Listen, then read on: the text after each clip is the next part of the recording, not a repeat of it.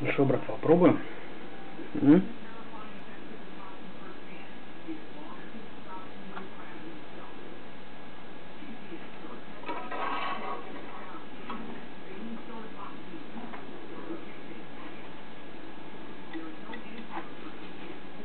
А.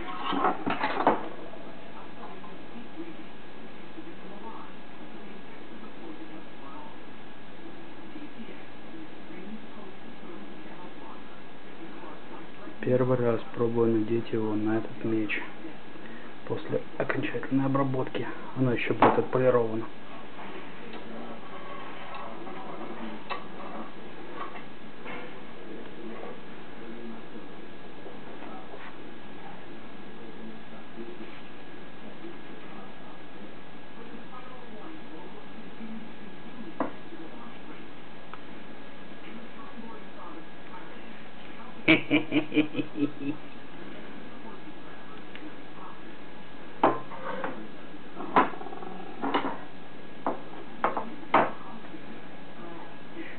Вот здесь вот надо вот чуть-чуть убрать, вот здесь вот сделать прямую линию.